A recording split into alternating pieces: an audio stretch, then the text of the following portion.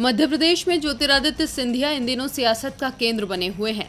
उनकी गैर मौजूदगी को लेकर कांग्रेस और बीजेपी आमने सामने आ गए हैं। जहाँ कांग्रेस उन्हें लापता बता रही है तो वहीं बीजेपी बचाव करने से पीछे नहीं हट रही है। दरअसल हाल ही में मध्य प्रदेश के पूर्व सीएम कमलनाथ के करीबी कांग्रेस विधायक प्रवीण पाठक ने सोशल मीडिया पर एक पोस्टर जारी करके सिंधिया के लापता होने पर सवाल उठाए थे। इस पर ऊर्जा मंत्री और ज्योतिरादित्य सिंधिया के करीबी प्रद्युम्न सिंह तोमर ने पलटवार किया।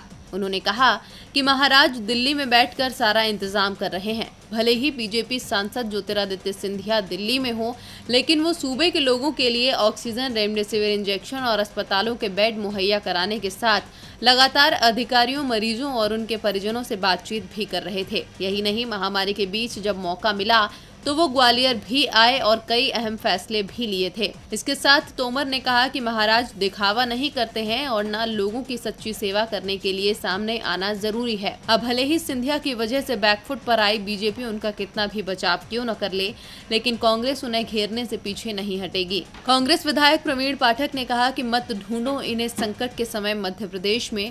सिंधिया जी अपने निजी कार्यों से हैं विदेश में। हम लोग भी घरों में कैद बैठ सकते थे। हम भी चार्टर फ़्लाइट से आपकी तरह विदेश भाग सकते थे। इतना ही नहीं, इससे पहले कमलनाथ के मीडिया कोऑर्डिनेटर नरेंद्र सलूजा ने सिंधिया पर तंज कसा। उन्होंने सिंधिया की जो तस्वीर साझा की है, जिसमें वो बीजेपी की सदस्यता लेने के बाद पीएम मोदी से मुलाकात करने पहुँचे थे। सलूजा ने इस फ़ोटो को शेयर करते हुए कहा कि मुझे भी पंद्रह महीने पूरे हो गए हैं मंत्री पद का इंतज़ार करते करते डील कब पूरी होगी?